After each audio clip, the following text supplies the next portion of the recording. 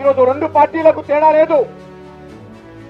కాంగ్రెస్కు ఓటేసినా బీఆర్ఎస్ చేసినట్టు బీఆర్ఎస్ పార్టీకి ఓటేసినా కాంగ్రెస్ పార్టీ చేసినట్టు పార్టీలుగా కాంగ్రెస్ బీఆర్ఎస్ పేర్లు వేరైనా ఈ రెండు పార్టీల్లో నేతలు ఒక పార్టీ నుండి మరొక పార్టీకి జంప్ అవుతూనే ఉంటారు.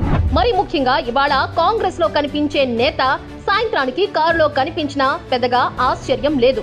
రెండు వేల పద్నాలుగు నుండి రెండు వేల పద్దెనిమిది వరకు కాంగ్రెస్కు చెందిన ఇరవై ఐదు మంది ఎమ్మెల్యేలు పద్దెనిమిది మంది ఎమ్మెల్సీలు నలుగురు ఎంపీలు హస్తానికి హ్యాండ్ ఇచ్చి కారెక్కారు. రెండు వేల పద్దెనిమిది డిసెంబర్లో కాంగ్రెస్కు చెందిన పన్నెండు మంది ఎమ్మెల్యేలు నలుగురు ఎమ్మెల్సీలు కారెక్కిండ్రు.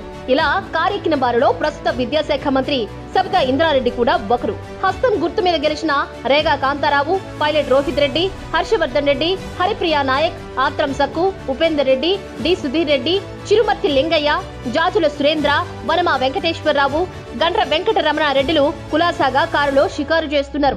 అంటే కాంగ్రెస్కు ఓటేసినా కూడా అది చివరకు బీఆర్ఎస్ ఖాతాలోకి వచ్చి చేరింది.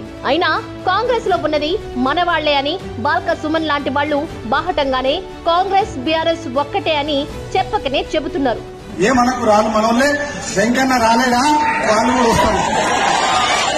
ఇక మీకు అసలు విషయం చెప్పాలంటే మనమే కొందరు పంపించడం కూడా.